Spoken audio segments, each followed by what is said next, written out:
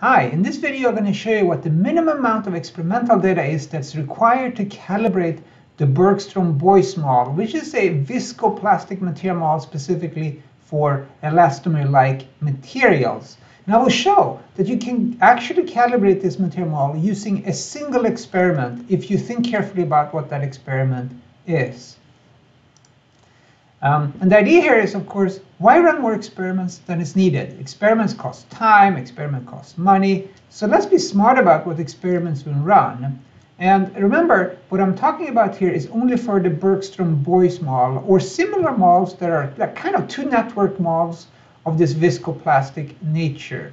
I will have other videos in the future that talk about other material models that are perhaps even more advanced. And uh, the results I'm using here will be generated using MCalibration from PolymerFEM. So the first case is a case where I have monotonic tension at a single strain rate. And I will demo this example live using the MCalibration software. So in this example, I'm going to first generate the experimental data using a virtual load case. So I'm opening a load case here and I'm switching to virtual I'm going to do the default setting engineering strain rate of 0.01 until the engineering strain is 0.5. That's good enough for example. I'm going to then select the material model that I'll use as the, the true answer in this example. I'm going to use the polyamide BB model as we talked about. And here is the, the predicted stress strain response from this model. And I will use this as input for my calibration. So to do that, I will export this data here, say prediction, I'm going to select it. I will use um, engineering stress strain. I will also import it, export it in short format here. And then I'm going to click on save. And that saves the file. Now I can use this as the calibration example by um, removing this data load case that we used for generation. I'm going to read in the new data file that we just generated here.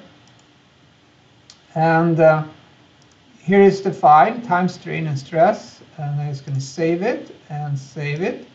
And here's the data now that I use for calibration. So this is the prediction of the stress strain response as, as in the form of an experimental data file.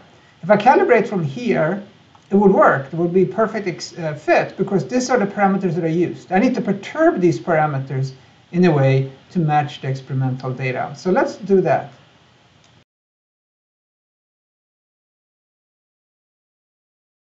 And that's my perturbation. If I run it once now, you see that the predictions in dashed line here is very far from the actual uh, starting point.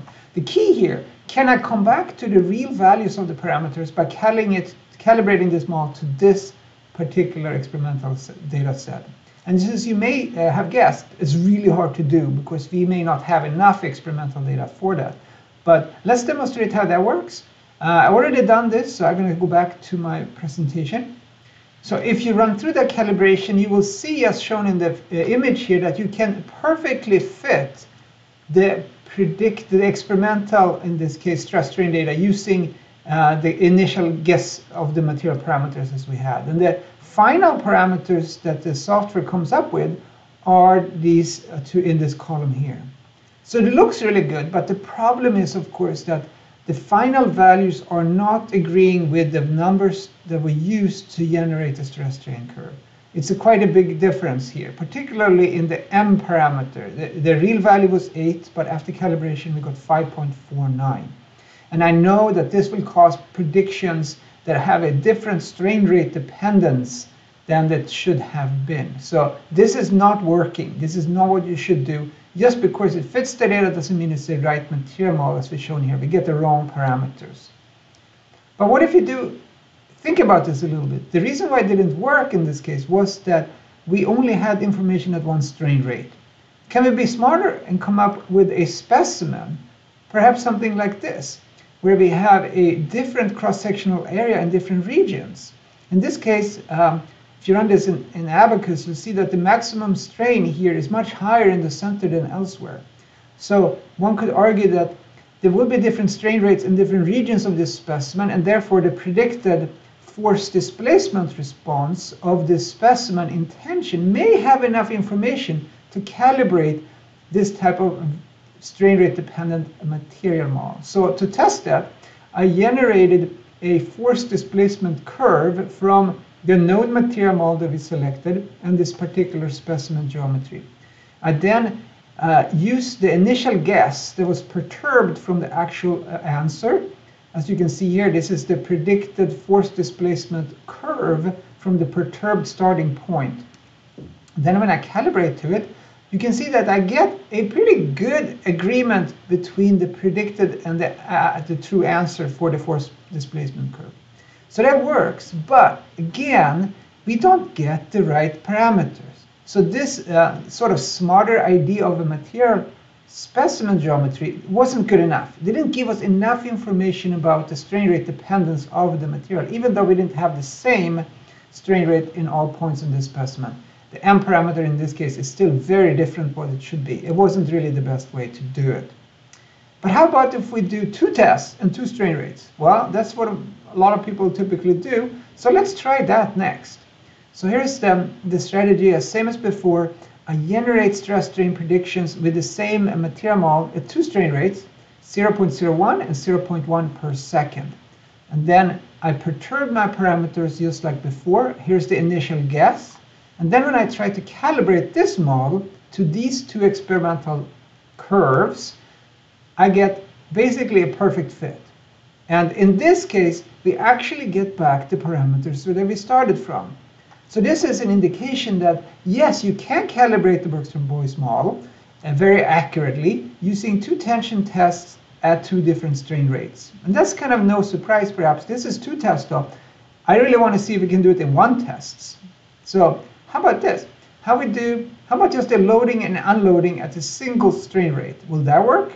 So same strategy, we generate an experimental data file using a virtual load case. Here's the initial guess from which I will run the calibration. And as you can see, we can match the data really, really well, the, the stress strain data, but the parameters are again not quite right, particularly the M parameters, which is critical for the strain rate dependence is not captured very well. So this wasn't working for us as one would have guessed. This is a single strain rate after all, even though it's loading and unloading. How about if we do load, relax, and then continue loading it?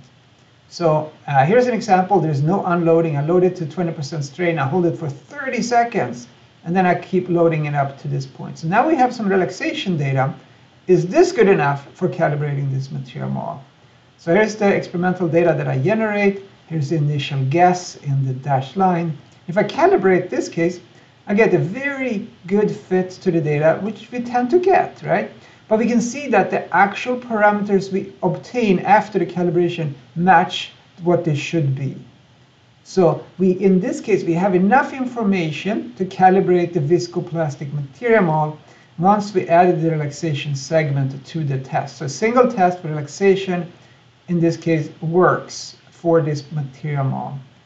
How about if we do a strain rate jump? I remember uh, a lot of people back in the day talked about strain rate jumps as a way to determine the viscoelastic behavior, viscoplastic behavior of materials.